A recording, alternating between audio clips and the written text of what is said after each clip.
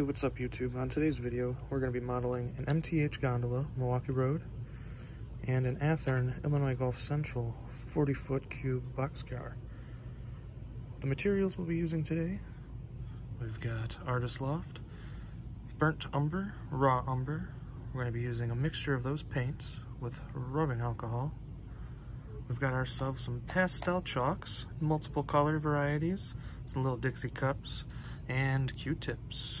On top of that, you got ourselves some brushes here, brushes there.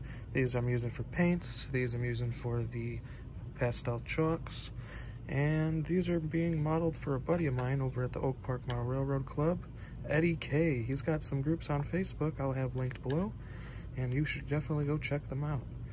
Alright, so let's get started. This pointer stick is annoying me already, so I know it's going to annoy you.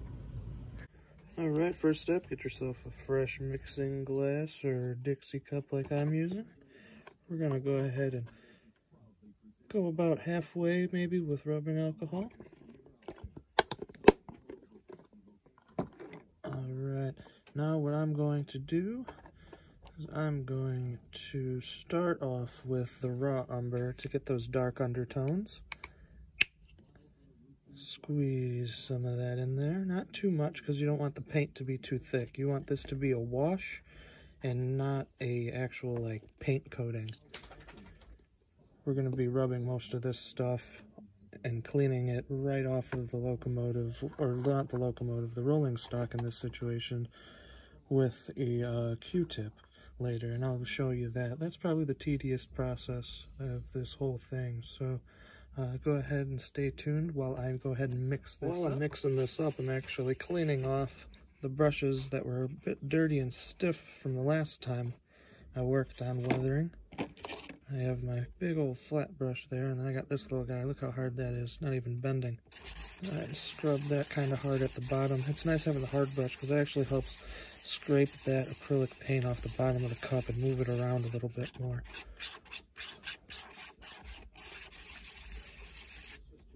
That's a bit better. You can see it's actually bending a lot softer now. You see that? That's the that's the thick stuff at the bottom there. You want to really kind of mix in real well so that your wash is fairly consistent every time you try to apply the brush to the model. Alright, so now that I've got the mixture to a nice con consistent uh, texture that I believe will work nicely with weathering this model and possibly even the Milwaukee Road model as well. This stuff goes a long way because you're just applying very thin coats, letting them dry, applying more thin coats, letting them dry, and then washing them away so that only thing that's really left is a bunch of dirt and the details and the rivets. You'll see in a moment. While I begin, let's see, let's brush some of that off. You don't want a real thick coating, like I said, you want real thin We'll start on the roof here.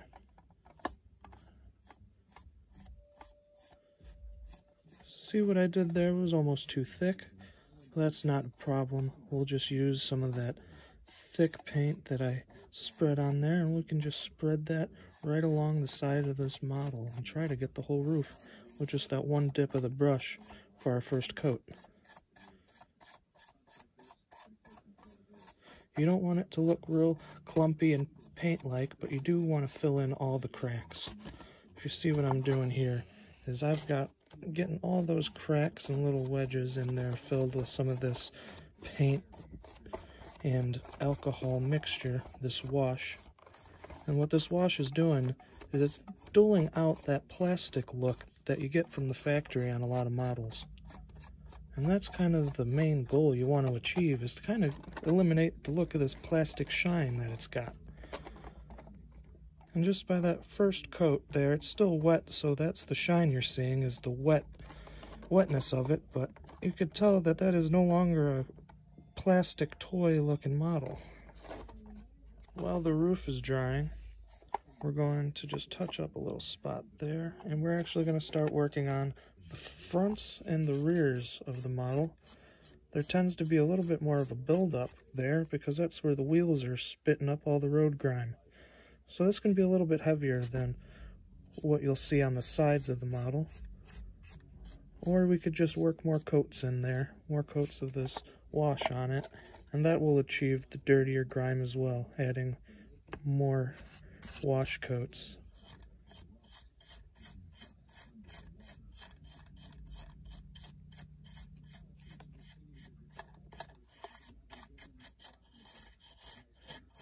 Make sure you get in all the cracks and crevices. You don't want any of that plastic shine sticking out because that'll just that'll just kind of eliminate the illusion of the weathering, seeing the original plastic color shine through. While I wait for this model to dry, I'll place it up here out of the way and I'll begin to work on the inside here where the wood detail and rivets will be. So with the same paint mixture, or wash I should say, that I was using on the roof and the front and rear of the Illinois Central car, I am going to make sure I get this nice dark wood detail kind of covered up and less yellow plastic looking. MTH makes some very good rivet details, so I'm going to try to accent those with this wash when the model is all fresh and yellow and looking like a, well, I hate to say it, but looking like a toy because of the plastic look that it's hard to hide. Even with as many details as you put on a model, it's hard to get rid of that plastic look without painting it. Just like that, you could see those rivet details a bit better. You can already see the bit of weathering there just from the first layer of wash on this car. That's what it looks like beforehand. Nice bright, bright yellow. And that's with a little bit of road grime. Let that dry. Move back onto this IC. While that Milwaukee Road gon is drying, we will move on to doing the sides of this Illinois Central with a layer of this wash. So, with some downward strokes.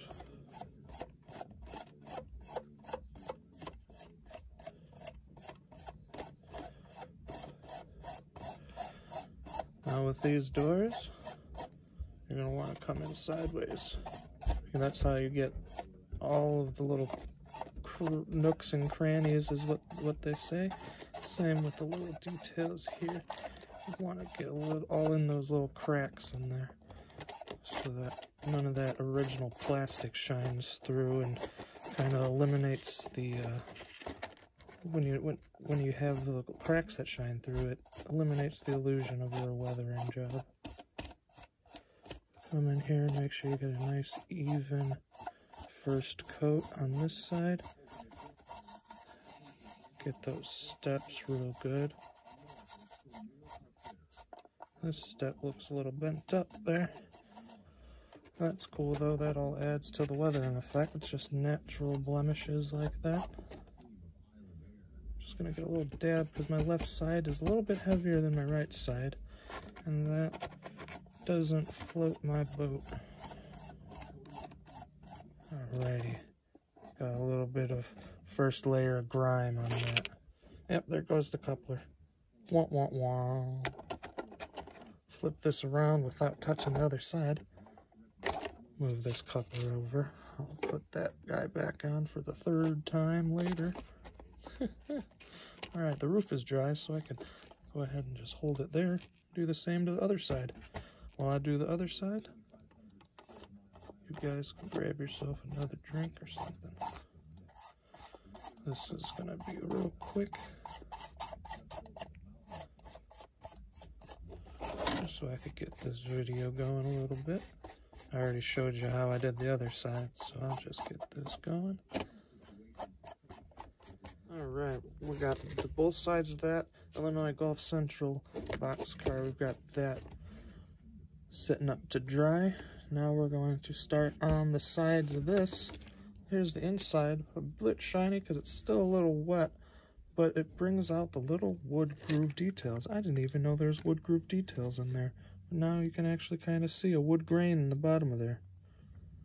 Just one layer of uh, weathering wash right there will do that like I said, it just helps bring out some details with also giving it some grime, making it look realistic, like it's been on the actual railroad. Now with these, you got a bunch of little cracks you gotta kind of fill in. So that's why I'm swiping left to right instead of up to up and down right now. I can cover up those sideways brush strokes later. And I can go kind of heavy. He wanted this one to look a little bit grimier. So I can go a little bit heavier. And I can also do a few more coats. Sorry about that, jerk the camera a bit. Let's, so this is, sorry, this is such a long, such a long piece of rolling stock. I can't tell if this is a 60 foot or what. He didn't give me a box with it. So I don't know what the specs exactly are. I'll have to check out what the writing says on the side. But this thing is humongous. All right. Sorry about this. this is my first kind of tutorial video on weathering, so I'm getting used to being able to see the model myself and being able to make sure that you guys can all see.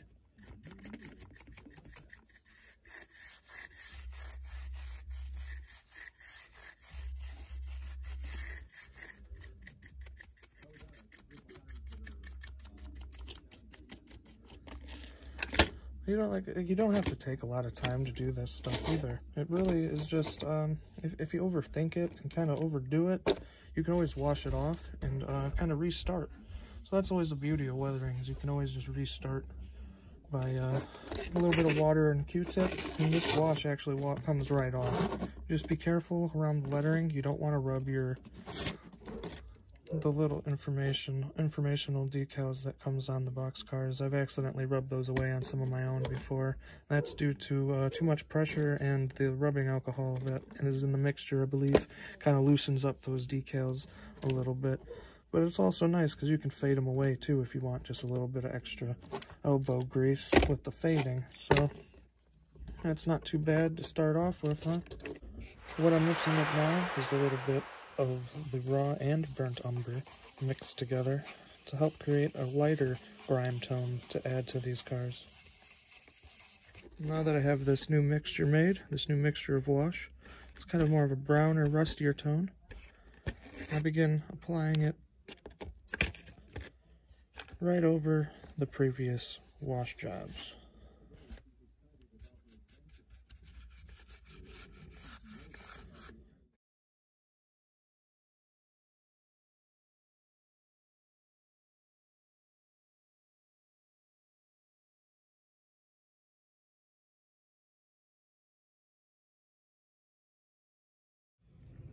Now we'll begin the Q-tip process.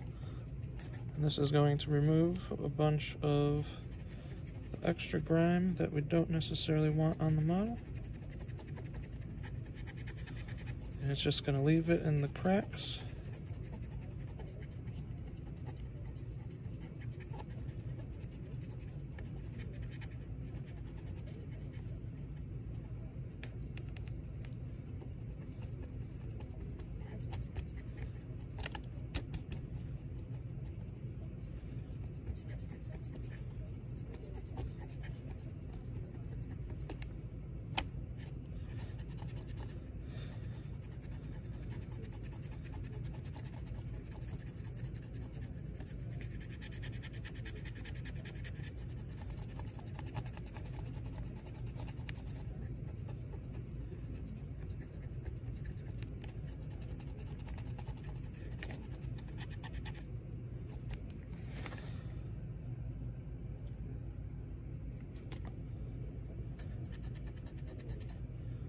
And I will continue this process all the way down and be right back. These are the results after the washes and the Q-tip technique. Brings out the rivet details. Adding a little bit of grime. Some you could call this done. Some people call this done. I'm going to add some more, uh, some of the pastel chalks to it. And I'm also going to add some uh, acrylic paint detail to the uh, the trucks and wheels. Look how great that inner deck turned out. Look at all those wood grain details in there. That definitely looks like it's seen uh, some loads in there, huh? There we go. All right, now we're going to start the Q-tip detail on this. We've got ourselves some burnt umber off to the side here. The skinny brush is what I'm using now. As you can see, I've got one truck down here.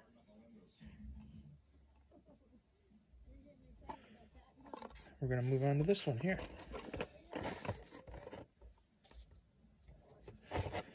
So, springs, those caps.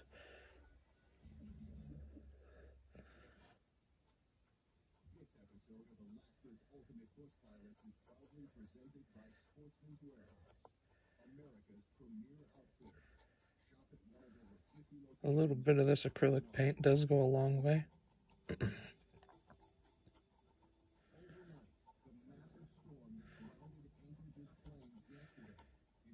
Alrighty, now we've got a pretty even coat going on right there.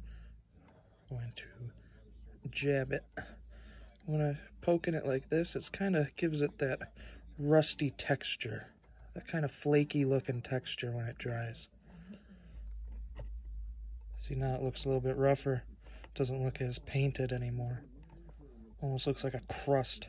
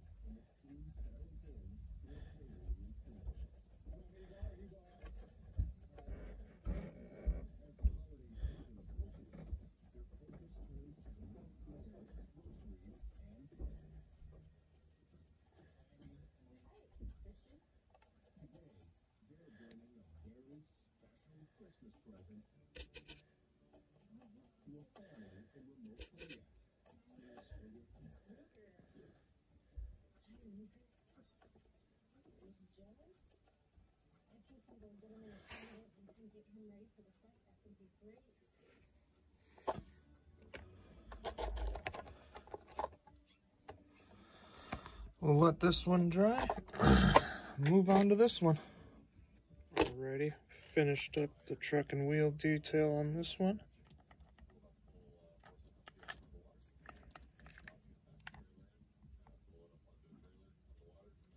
Might add another coat of acrylic once it dries.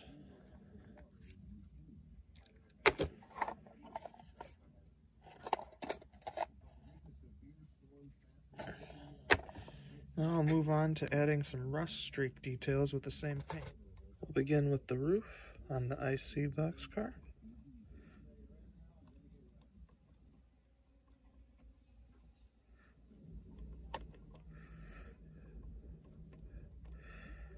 Uh, he didn't really want this one looking too bad, looking too rusty. He models the early era. So I just want to make sure I get this looking good enough to the liking of his era of model railroading, which I believe is anywhere from the 50s, 60s, and 70s, but I believe mainly the 60s and 70s. He is a big rail fan. The uh, gentleman who hired me to weather these models for him. As I said before, he has some Facebook pages. I'll mention one of them now. One of them is 1960s and 70s era model railroading. That is one that I am frequently posting on, posting models at local clubs and posting um, my models here at my, my home layout, my small one that I'm building here with my father. See, look at that, just a little bit of rust details on some of these latches for the roof. These are like, they're like clasps that look like they uh, kind of drilled into place to hold this roof down a little bit. We'll smear a little bit of this stuff. We'll get some of that runny rust.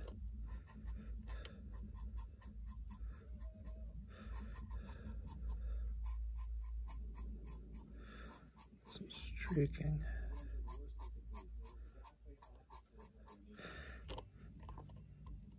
Not looking too bad.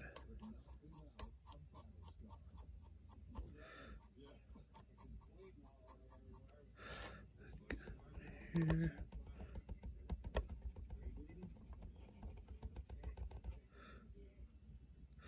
This poke technique is very good for rust, I think. I think it really, it eliminates the like brush strokes that are seen in some some cases with weathering. And it kind of just see the texture that it gives it?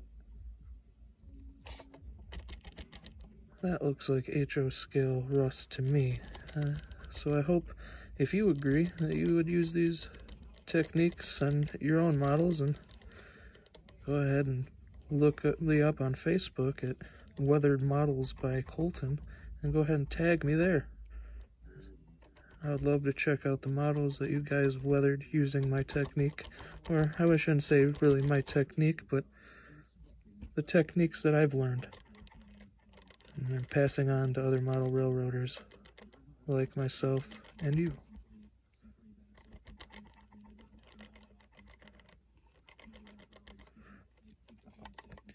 It's all random, just kind of imagination. I don't have a prototype that I'm going off of here.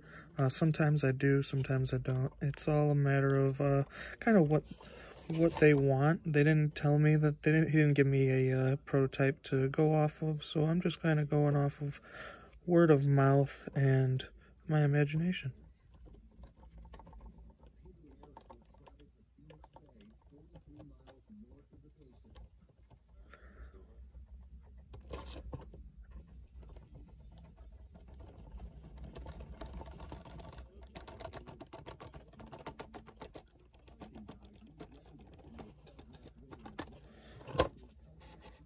Not too bad, huh, guys? Let's get a little bit more poking in there. Poke it in, poke it in, poke it in, poke it. Oh, he's gonna poke ya. Pokey, pokey, pokey. Pokemon. Hope I don't get copywritten just for saying Pokemon like that.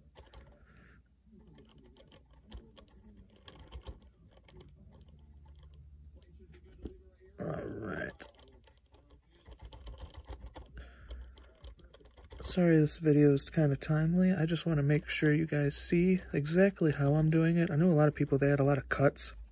I want to at least show an example of each step instead of uh, just cutting and not showing all the uh, work that actually goes into it so that you're not confused thinking that this is going to take you five minutes to weather a model. Uh, if you were just doing washes, it could take you just five minutes, but I'm doing a little bit more. Uh, this is a good buddy of mine, and he's a fellow member of one of the local clubs here. It's actually he's actually the guy who introduced me to the Oak Park Model Railroad Club, aka the Oak Park Society of Model Engineers. Alright, so that's the beginning. Looks like that roof is pretty good.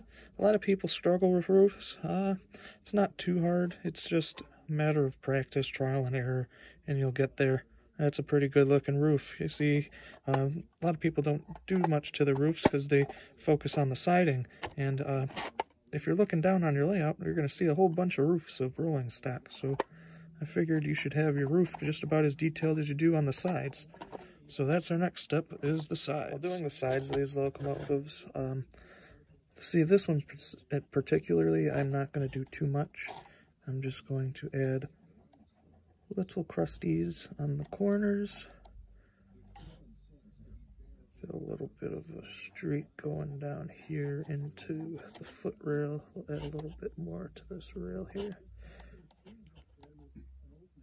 This footstep, add a little bit of clean that brush off a little bit.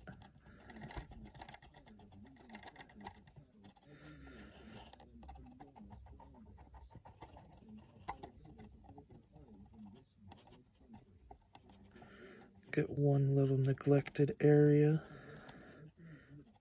Kind of crust up these rivets a little bit.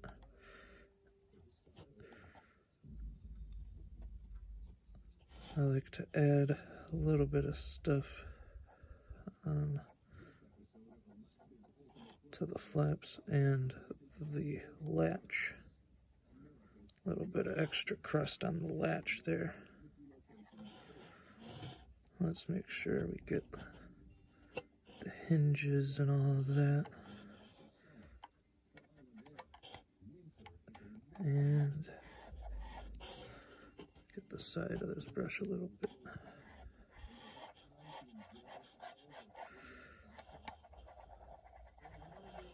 A little bit of extra down there.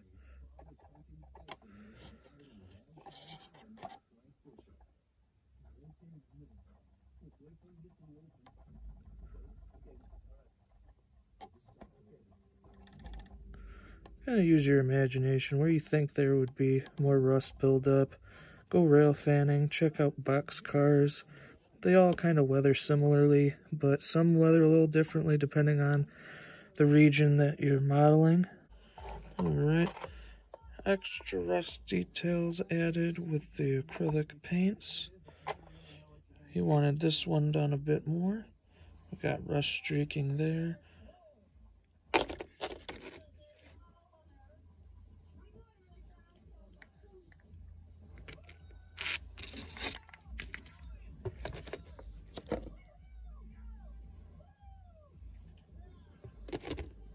Now we'll move on to pastel. Good mixture of chalks going.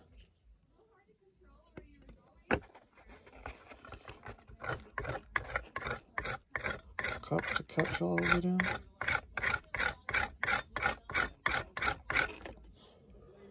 Red.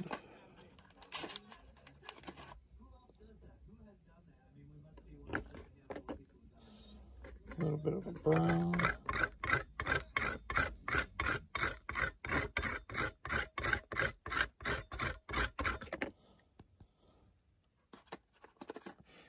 Basically, you just keep mixing.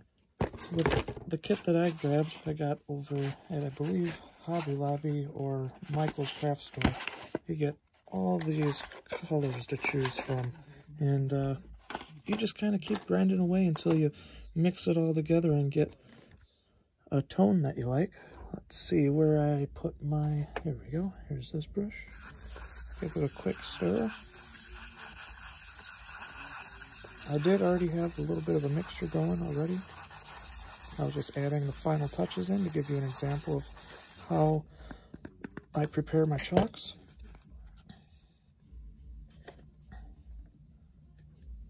Let's see if you can see that. Do one of these. See that? I'm going to apply that kind of reddish, grayish toned chalks to the side of these cars with the roof.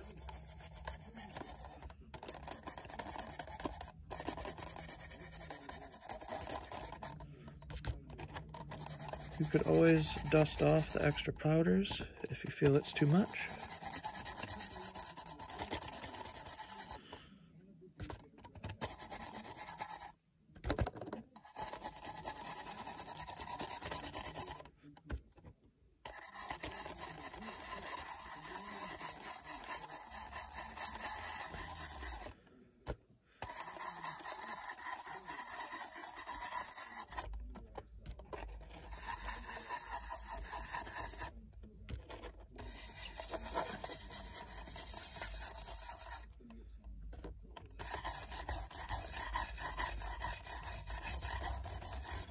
Really get it into the cracks there. Kind of brush away all the extra so you could still see the rust details that I did previously.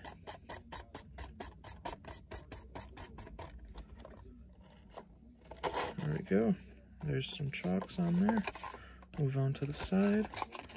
This is where it'll become a little bit more noticeable.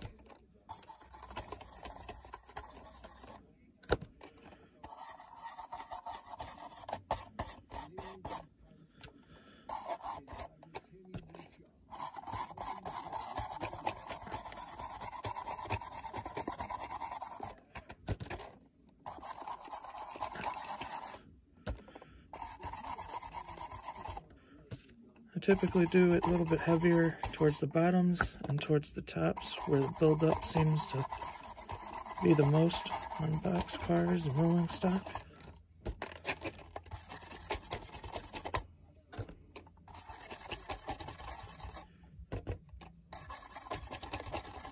I do end up getting a little bit everywhere though, just because it does help bring out the rivet details here.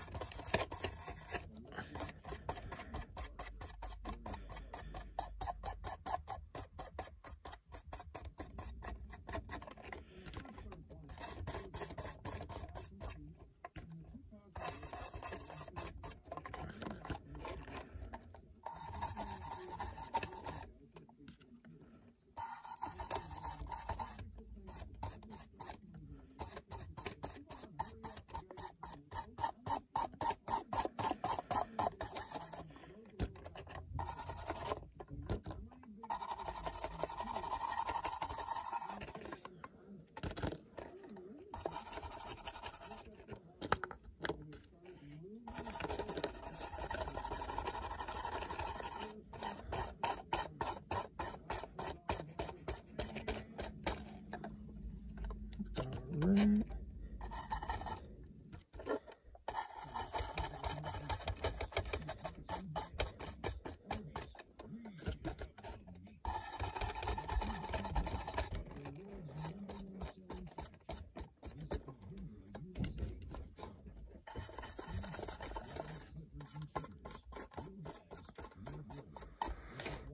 right, that's one side with pastel chalks.